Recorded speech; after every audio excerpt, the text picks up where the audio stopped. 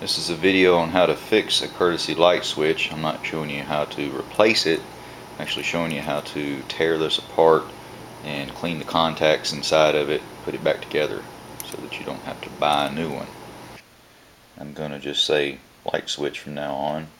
Saves a little bit of breath and time. I'm going to assume that you've verified the switch is bad and it isn't something else like a bad fuse or a bad wire. Most of these switches are designed in a similar way. This one is out of a 97 4Runner. Yours may be slightly different, but it should be a pretty similar concept. The cheapest one I found for this truck is about $17 with the shipping, which isn't bad. But this truck is old, and worn out. I don't want to spend a whole lot of money on it. And I don't want to have to wait a few days for the parts either. I want to just get the job done. You've probably already figured out how to get this out of the Toyota door here.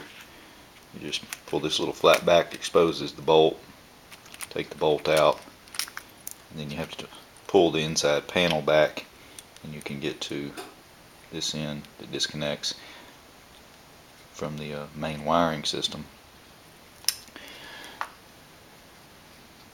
Then they have a little piece of a uh, flap right here so you have to peel the top part back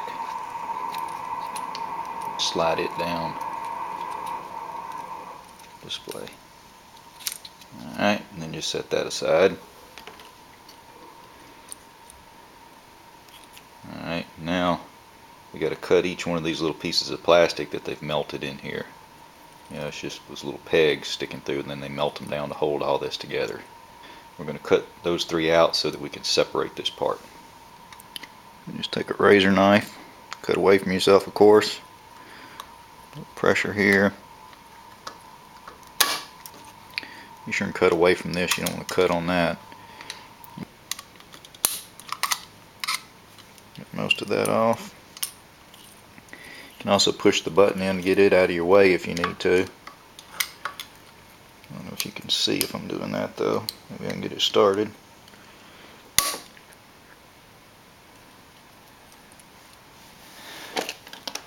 handy dandy screwdriver here. Give it a little pry. There it went. Alright, so now pull this part off. This is the part that gives you your ground. You can see this little tab right here is one of the contacts and I don't know if you can see it good enough but there's a lot of corrosion on there. Hopefully you can see the corrosion on this piece. Um, this file's a little bit big for the job, but I couldn't find my small file.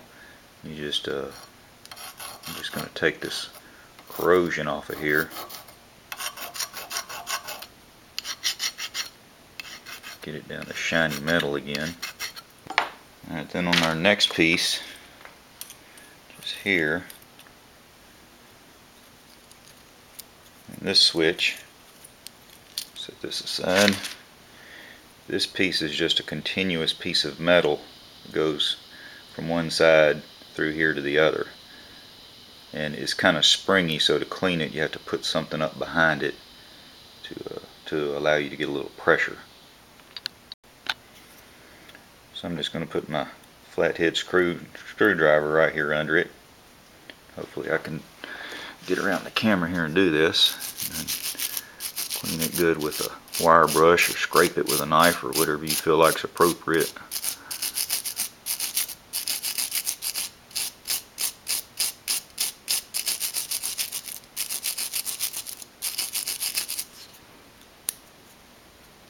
Switch and clean the other side here.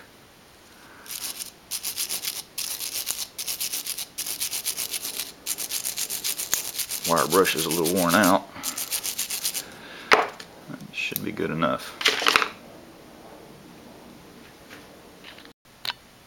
The other contact on this one's kind of hard to get to is this right up inside here, which would actually be in the top of this because I got it upside down. Uh, right up in here is the other contact I'm going to have to clean and I'll just have to uh, reach up in there since I can't find my small file I'll just reach in here with my razor knife and scrape it a little bit I'll probably do this a little bit better off camera. It's kind of hard to do reaching around the camera like this. And I'll clean it up a little bit better off camera. Alright, so next we just got to make sure that the spring goes over the post in the center. I'll put a tad of dielectric grease on here, which I'm cheating here. This is just Vaseline. I didn't feel like digging out my my true dielectric grease. I'm just going to put a tiny coat on here. Dielectric grease is probably the best thing to use.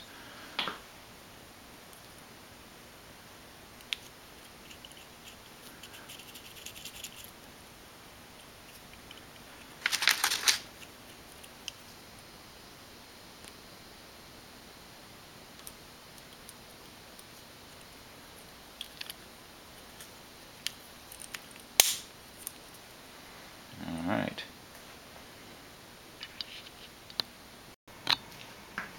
Alright, so once you got it snapped back together, just put it back in the car and uh, you know, it'll have the metal behind this surface so you really don't need to glue it together. You can just put it in like it is and the bolt will hold it together for you. You know, you may have a little bit of trouble keeping it all together if you cut too much of these posts off. It may not hold together real good for you uh, until you get the bolt in there in the car. But you know, there's really no need to have it held together. You know, once it gets gets in there, it's fine. So I wouldn't even worry about gluing it back together.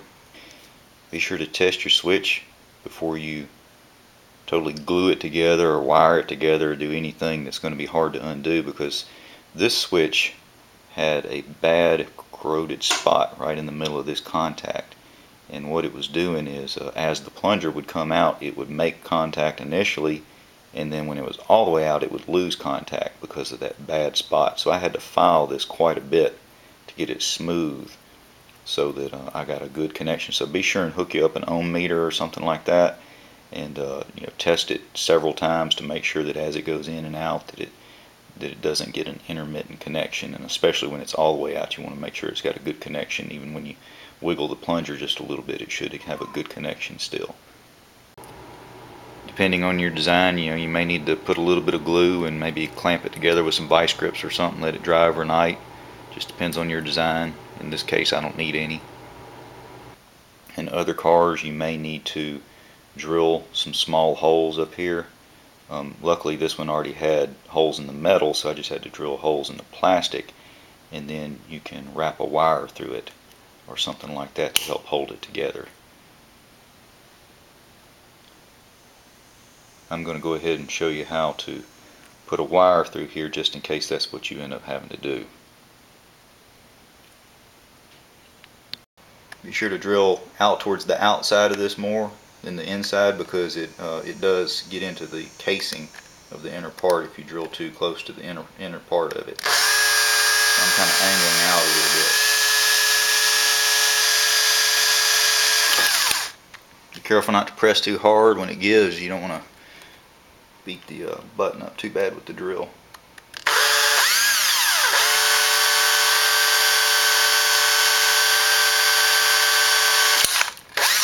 Like I did just then. Alright. We got our holes drilled. I have somewhere that I can put my small pieces of wire through. I'm, I'm going to use stainless steel wire. I've get it from one of the hardware stores here in town but um, I guess if you don't have stainless steel wire you can use something else but it'll probably corrode depending on where you're at I'm in Florida so I'm going to use stainless steel wire alright this might be kind of hard to show on camera but all I'm doing here is taking a small piece of wire coming in one hole going around behind it bending it I know I'd have a hard time doing this on camera. Back out of the other hole. Yeah, this is going to be really hard to keep on camera here, but we'll keep trying. Pull some of the slack out. I'm going to cut the excess off here and keep working it until I get it kind of snug.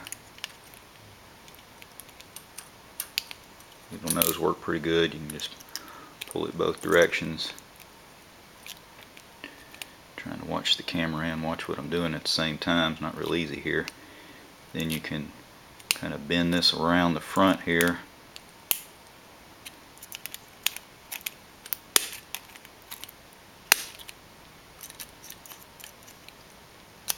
Just don't want to get it up against the plunger where it interferes with anything. And you need it kind of snug so that it's out of the way of the rubber boot that goes on. And this side, same thing, just keep it kind of tight.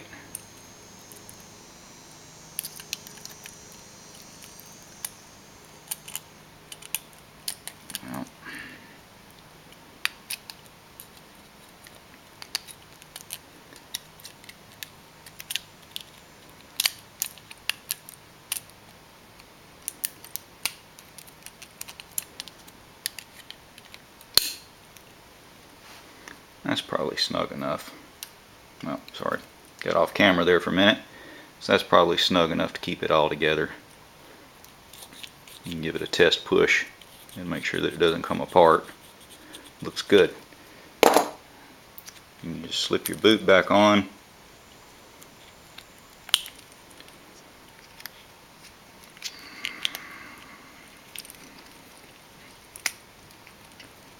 If your wire is too thick, you're going to have a hard time with this part. And of course, you want to test it with an ohm meter or a test light or something before you go too crazy with this. Make sure that your inner parts are working right.